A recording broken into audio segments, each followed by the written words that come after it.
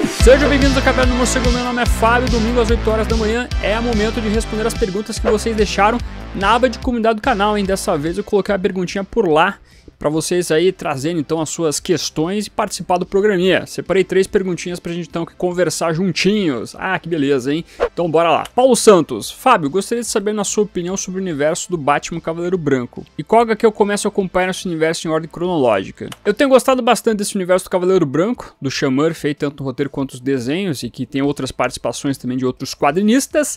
E é o tipo de universo que acaba respondendo algumas coisas interessantes do Batman, né? Sobre o fato de ele ser um bilionário em Gotham City, se isso é bom ou ruim, o que aconteceria se o Batman doasse toda sua grana para Gotham City, será que nós criaríamos uma utopia e etc. Eu acho muito legal como a coisa vai indo e é um trabalho que acaba sendo uma grande homenagem também a outras produções do Amorcego. Você tem várias referências a Batmóveis antigos, o universo animated é muito referenciado aqui, então é um trabalho que eu gosto bastante. Fica uma recomendação aí para talvez quem esteja começando a acompanhar o Batman agora pegar uma coisa diferente do Amorcego.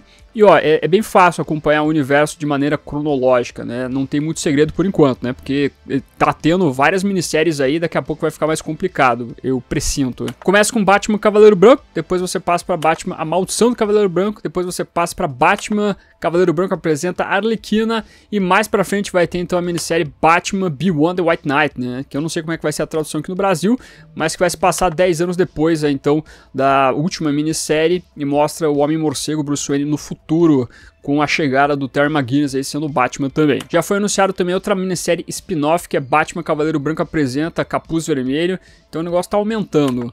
Mas tá tranquilo por agora acompanhar essa esse universo todo aí. Não tá meio, sabe aquela coisa que fica inchada assim que você não consegue mais se comunicar direito com aquele universo? Por enquanto não tá assim. Mas recomendo ler por agora já para evitar maiores problemas mais pra frente e ficar perdido com toda essa, essa nova cronologia desses eventos envolvendo esse universo alternativo do Morcego, hein? É um universo paralelo, tá? Não é o universo oficial. Mas vale a pena a leitura, sem sombra de dúvida. Vinícius, qual é o seu jogo favorito do Batman, dentro e fora da série Arkham? Boa pergunta, hein? Pergunta difícil. Mas em relação à série Arkham, vamos separar aqui, né? Série Arkham e fora da série Arkham, porque a série Arkham hoje em dia é a, a série perfeita de jogos do Batman e de jogos super-heróis, ponto, né? Mas o meu jogo favorito da série Arkham é o Batman Arkham Asylum.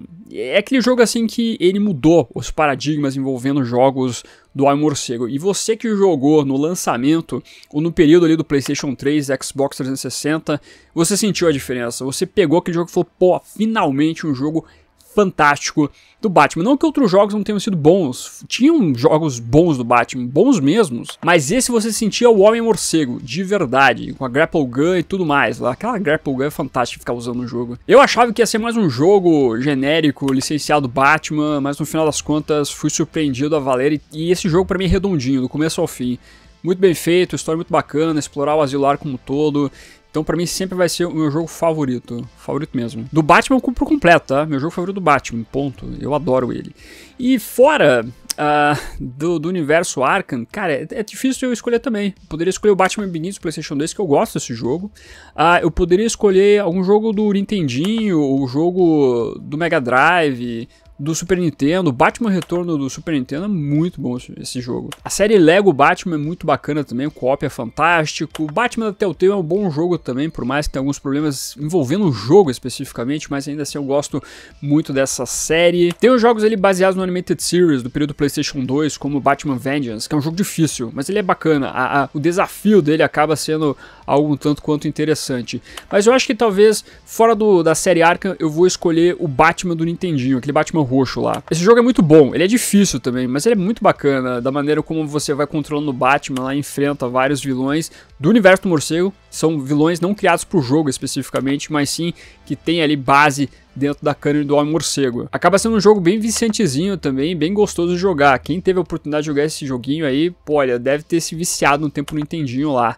Eu gosto muito dele, também tenho aqui no, no na biblioteca do Morcego, e eu curto bastante como você tem ali as aventuras então com esse Batman roxo. Então meio que eu vou no 880 aqui, pega um jogo bem velho do Batman, do Nintendinho, e depois passa pro Batman Arkham Asylum. São os meus dois jogos preferidos do Homem Morcego, hein?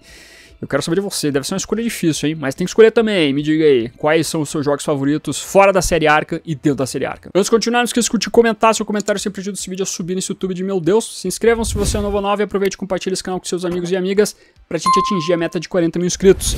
Meu muito obrigado. Ricardo Grião, quais são os seus top 5 vilões do Batman favoritos? Boa, essa pergunta também aqui é uma pergunta intensa, é difícil escolher, até porque o Batman tem a melhor galeria de vilões dos quadrinhos super-heróis. Só que, assim, vamos lá. O Coringa. É, o Coringa vai ficar de fora dessa listagem, tá? Não tem como você colocar o Coringa na lista porque ele sempre vai ficar em primeiro. Não tem como. É tipo que nem você falar qual é o melhor vilão de Star Wars. Darth Vader. Ponto. Você até pode gostar mais de outro tudo mais, etc. Mas Darth Vader. Você vai nele. Você acaba indo nele. E hoje em dia o Coringa é um dos maiores vilões da cultura pop como um todo, então não tem como deixar ele numa lista. Ele é o concur, ele tem que ficar de fora. Beleza? Então, é, eventualmente, se você não concordar comigo, tudo bem, mas eu vou ter que tirar o Coringa da lista aqui, porque realmente esse vilão tem muito peso e acaba estragando listas, no, no bom sentido, estragando entre aspas, né? realmente é um cara que contamina tudo aqui. Então, tira o Coringa aqui. Adoro as histórias do Coringa, maior vilão do Batman, sem sombra de dúvida. Mas aqui então a gente vai brincar com outros personagens da galeria. Quinto lugar, vou falar aqui de um personagem que não necessariamente é um vilão, talvez um anti-herói, mas ele é meio considerado um vilão também, que é o Anarquia, que surgiu nas histórias do Batman pelo Alan Grant Norm Breyfogle, especificamente na Detective Comics 608 de novembro de 1989, que daqui a pouco está sendo republicado aqui no Brasil pela editora Panini na coleção A Saga do Batman. Fica a dica, já comentei no canal aqui. O vilão muito interessante porque ele não é um adulto formado e etc. É um rapaz que acaba é, sendo uma surpresa durante a história ali. Não vou dar spoilers aqui, tentar não dar spoilers para quem ainda não leu. Mas eu gosto muito como é um personagem que ele se baseia um pouco, inclusive, nas histórias do V de Vingança lá do Alan Moore. O Alan Grant ele foi editor do Alan Moore na revista 2000 AD, lá no Reino Unido. Então Alan Grant tem umas bases ali de caminho envolvendo o Alan Moore, né? Então ele acaba se inspirando um pouco no V de Vingança para trazer esse personagem que tem essa, essa vertente também, essa veia, não tão anarquista. Eu não acho que o personagem aqui busca tanto anarquia, mas ele quer ser aquela figura que se opõe aos ricaços da cidade, aos problemas sociais de toda Gotham City. Acaba sendo um texto bem legal e o Alan Grant fazer isso é muito bacana, porque o Alan Grant gosta de colocar isso nos seus quadrinhos. Fala muito sobre política no universo do Batman, é um autor diferenciado e com os desenhos do Norbert Fogg a coisa fica melhor ainda. Então eu gosto muito das histórias dele, é um personagem que não aparece tanto assim no universo do morcego, uma pena, mas ele já foi adaptado para outras mídias e os primeiros quadrinhos que ele aparece são muito bons. Tem um específico que eu acho muito legal, que é uma realidade alternativa, que é o Batman o Tirano, que é uma realidade alternativa onde o Batman acaba sendo criado pelo Jonathan Crane, o Espantalho, e a única pessoa que consegue se opor à tirania do Homem Morcego é o Anarquia. Então é uma HQ que recomendo bastante. Anarquia é um, é um, ótimo personagem, fica a dica. As histórias individuais dele, ele teve uma revista é, só dele, no passado aí, que não é muito legal. Eu confesso que não é muito bacana, mas ainda assim é um personagem muito bacana de você ir atrás, dar uma olhadinha e conhecer mais dele. Em quarto lugar, eu vou trazer outro personagem do Alan Grant Number Fog, que é o Cornelius Stirk. Sim, eu vou colocar na minha lista, que se dane. Personagem que teve sua primeira aparição no Detective Comics 592 de novembro de 1988, fazendo parte então dessa galeria de vilões aí do Alan Grant Number Fog. É basicamente um personagem que consegue enfeitiçar as pessoas, fazendo com que ele tenha uma aparência para elas que traga um tipo de confiança. Tem tem um personagem durante essa história que vê o Cornelius Stick como se fosse o Abraham Lincoln ou Jesus Cristo, uma coisa assim. Só que o vilão então acaba atraindo essas pessoas para sua casa e acaba matando elas de medo para conseguir consumir o seu coração, coração que morreu então através do medo. Isso que, é, que acaba sendo o grande diferencial dele. É um personagem que é, é de terror, dá medo ele. Eu, eu, já tive pesadelos com ele, literalmente. Mas ele é muito interessante. Ele foi trabalhado muito pouco. É, são raras as histórias que ele aparece. Mas quando a gente vê o Alan Grant, Norbert Fogg trabalhar ele, o traço do Norbert Fogg deixa ele muito mais, muito maluco, assim, muito mais, muito aterrorizante. Então é o tipo de vilão que eu gosto, que se eu fosse escritor do Batman, eu ia fazer ele aparecer em todas as minhas histórias sem sombra de dúvida. E agora vamos para as velharias aqui, né? Porque em terceiro lugar eu vou colocar o Espantalho, um grandíssimo vilão do Batman. Personagem que surgiu na World Finest Comics número 3 de 1941, um dos vilões aí mais antigos do Homem morcego. Também usando medo, né? Você vê aqui que eu gosto dessa temática do medo com o Batman. O Batman usa o medo bastante para combater o crime, é uma das suas facetas. Mas quando nós temos vilões que usam o medo também para aterrorizar, acaba sendo um bom confronto aqui com o nosso protagonista. E o Espantalho é um personagem que surgiu para estudar o medo, né? O Jonathan Crane é um psicólogo que estuda o medo, que acaba usando o medo como o espantalho para combater, combater não, na verdade, né, para causar um medo em Gotham e cometer os seus crimes. Na Era de Ouro ele apareceu muito pouco, apareceu umas duas vezes, mais ou menos. Depois, na Era de Prata, quando ele volta, ele começa a ter o item famoso dele, que é o gás do medo que aí sim nós vemos uma vertente um pouco mais intensa então do personagem, trazendo essa maneira legal de trabalhar ele, onde ele causa um medo intenso nas pessoas de maneira artificial. Eu gosto muito como o Espantalho é explorado nas suas histórias. Não é um vilão que eu acho que é tão explorado nos quadrinhos assim, sabe? Eu acho que ele poderia ser mais explorado. São poucas histórias que eu diria que são memoráveis assim dele. Eu gosto muito das primeiras, mas eu acho que ele poderia ter outras grandes histórias envolvendo essa figura do mal aí da cidade. Em segundo lugar, vamos falar dos personagens trágicos, dramáticos do Batman, que são os que mais me atraem que é o Senhor Frio. O Senhor Frio que apareceu pela primeira vez na Batman 121 de fevereiro de 1959, bem na Era de Prata. Só que eu não falo do primeiro Senhor Frio, que era o Mr. Zero, que não era ainda o Senhor Frio. Ele foi mudar de nome com a série 66. Ele teve algumas participações nessa série, boas participações, inclusive, fica a dica para você dar uma olhadinha no vilão aparecendo na série. Mas o Sr. Phil que eu gosto é a reformulação mais conhecida, a melhor versão dele, que é do Animated Series. Inclusive, se você quiser conhecer o personagem, depois que você assistir esse vídeo aqui, você vai na HBO Max, pega Batman Animated Series e assiste o episódio Coração de Gelo. Lá tem a origem do personagem. Não tem o que mudar daquilo. É a melhor coisa que tem com o personagem. Uma grandíssima história, um grandíssimo episódio. Eu gosto muito como a tragédia acaba criando esse personagem que não tem o intuito de ser simplesmente maléfico. Não é um personagem que quer ser do mal, simplesmente quer cometer crimes porque ele quer ter um benefício próprio. Ele quer curar a esposa dele. E ele acaba então fazendo esses crimes para achar meios de curar a esposa. E é perfeito toda a maneira como a gente vê um ricaço de Gotham City criando ele através de toda uma hipocrisia que a gente vê com o passar da trama toda. Uma grande, uma grande história de origem, um grande personagem, um grande vilão do Batman, por isso que eu queria muito ver ele nos filmes do Morcegos Novos aí do Matt Reeves. Mesmo na sua versão fundamentada, não tem problema para mim, pode ser uma versão mais, entre aspas, real também. Mas ainda assim eu gostaria muito de ver uma adaptação bem fiel, bem trágica, dramática, não tão palhaça tal qual foi em Batman e Robin. É um personagem que pode trazer muito disso. Inclusive, quando ele aparece na série Arkham, ele é um dos grandes vilões da série Arkham, um dos grandes chefões, né? No Arkham City tem um arco muito bom dele, o DLC que a gente vê em Batman Arkham Origins é fantástico também, e toda a trama que envolve ali o DLC do Batman Arkham Knight, com a finalização da história dele com a esposa, também é triste. Então é um vilão muito bom, simples assim. Então vá assistir, Coração de Gelo, Animated Series, é, Batman da HBO Max lá, por favor. Quase finalizando, deixa eu ver o comentário fixado aqui embaixo, sempre tem um outro quadrinhos com desconto. Tem algumas promoções interessantes na Amazon, se ainda não acabaram, mas fica a dica, dá uma olhadinha aqui então no que eu tá, tô mostrando para você na tela. E ao mesmo tempo tem promoção acabando hoje na loja da Panini, que é o desconto progressivo de 30%, hein? Se você levar mais de 350 reais em compras na loja, você consegue 30% de desconto e parece que tá valendo para todos os quadrinhos, hein?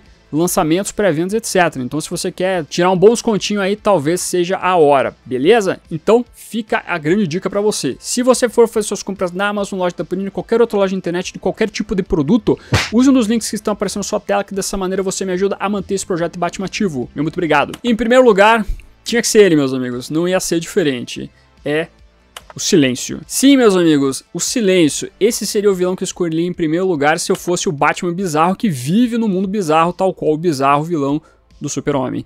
Mas não, tô brincando, na verdade é o Duas Caras, obviamente, o grande vilão do Homem-Morcego, o mais trágico de todos, aquele que traz toda a dicotomia dentro dos trabalhos do Batman combatendo o crime. É o personagem que, dentro das reformulações de origem do Batman, está lá desde o começo também combatendo o crime com o Batman e depois acaba virando o seu maior inimigo, um dos dois maiores inimigos, né? Gosto muito da origem do personagem, inclusive a origem dele tal qual a gente vê hoje em dia nos quadrinhos, em outras adaptações, tá desde lá da Detective Comics número 66 de agosto de 1942. É um personagem que você não precisa mudar muita coisa, sabe? Inclusive quando você muda alguma coisa dele, começa a ficar meio estranho, mas ainda assim é um personagem que ele é muito bem trabalhado desde o começo nos quadrinhos da Era de Ouro. Você pode até pegar essas histórias da Era de Ouro e ver um arco ali de começo, meio e fim com o personagem.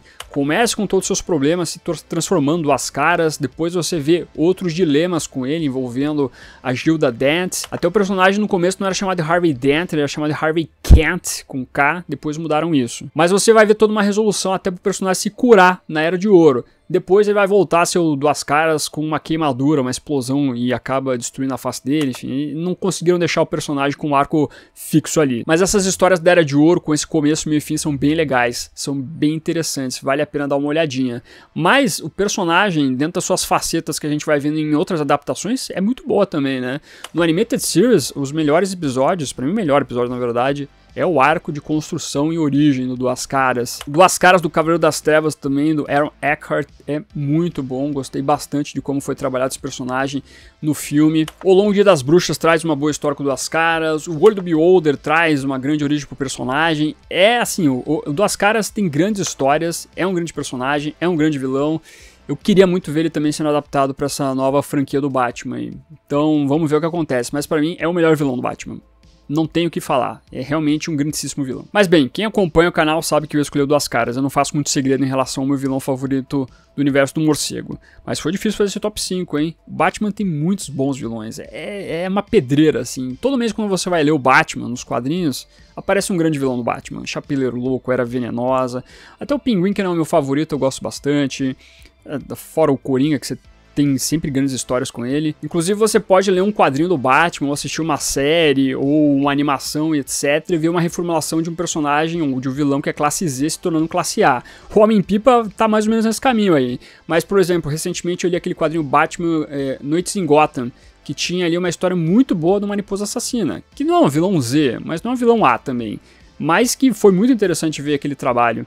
Então é, você pode surpreender com os vilões do Amor Cego. Eu gosto de todos literalmente todos. O Batman que ri, eu sei, é problemático esse vilão, mas quando ele é trabalhado pelo Josh Williamson, eu até gosto dele. E o Silêncio também, quando é trabalhado pelo Paul Dini, eu gosto. Então, enfim, veja como, como é as coisas, como são as coisas, né?